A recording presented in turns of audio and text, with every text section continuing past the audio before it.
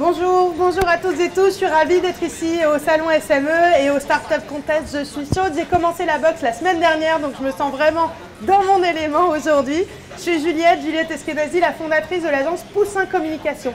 Alors moi, j'ai fait des études de communication et de sciences politiques. Et puis assez rapidement, en faisant des campagnes électorales, en travaillant pour l'institutionnel, je me suis rendu compte que c'était beaucoup d'argent et pas beaucoup d'aventure de travailler dans cet univers-là. Et j'ai décidé donc de euh, créer plutôt une agence à destination des créateurs d'entreprises, entrepreneurs indépendants et TPE pour les poussins finalement. Et c'est pour ça que je l'ai appelé Poussin Communication, pour aider les entrepreneurs à sortir de leur coquille. Alors qu'est-ce qu'on fait chez Poussin? Chez Poussin, on est cinq nanas, tout en jaune.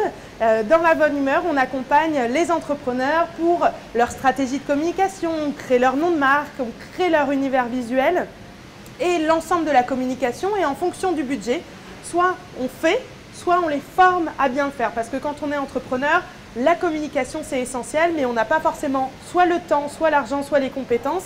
Et chez Poussin, on trouve toujours une solution. Alors nos clients, c'est des entrepreneurs dans des domaines d'activité qui sont très variés. On a du cosmétique, de la mode, euh, du service, du e-commerce euh, et énormément de choses. Et tous, en fait, sortent de leur coquille et se font connaître grâce à des campagnes originales et à un accompagnement personnalisé avec l'équipe Poussin qui est à fond dans chaque projet parce que la réussite de nos clients, c'est notre réussite à nous.